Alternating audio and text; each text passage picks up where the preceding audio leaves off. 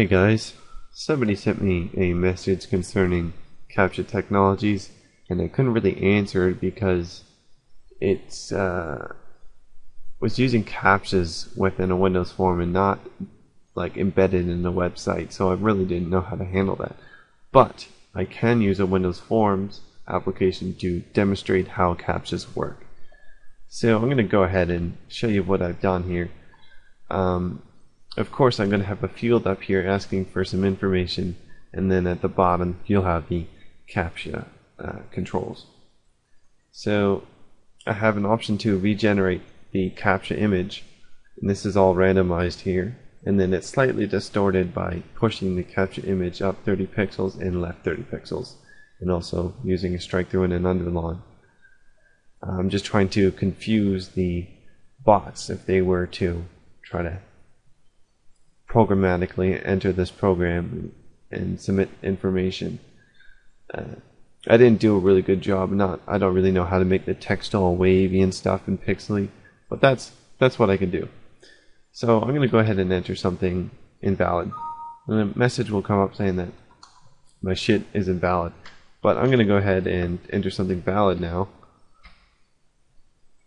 There's seven uh, numbers in total, and you have to enter them all um, correctly for your information to be submitted. Which it really isn't submitted, it's just an example. For the most part, CAPTCHAs are uh, words. They, put, they present words to you in the image. Makes it easier for the user to input, but uh, just for simplicity, my CAPTCHA class uh, constructs random numbers into the string.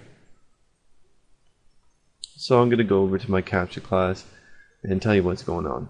So I have two global uh, um, declarations here. One's for a bitmap and one's for the code. Uh, I first set the code in the function and then in the second function I set the bitmap using that uh, randomized code. So I made sure that the smoothing mode was set to anti-alias to to drop a lot of contrast in the image, in the text.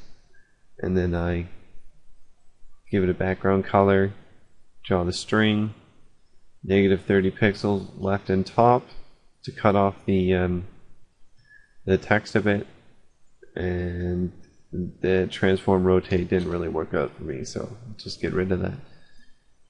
Down here in the set randomized code method, I um, reset the code string to empty, create a random object, and then I iterate through a for loop seven times per, per character for each character, and I retrieve a random number from 0 to 10, cast it to string, assign it or add it to the code string uh, variable over here. And here are my uh, properties to expose these things to the main form that's it.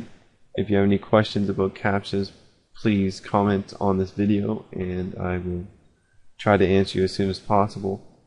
The CAPTCHA sample here will be on my samples page. Um, take a look at it if you're curious about the code. This is Left Technical signing out.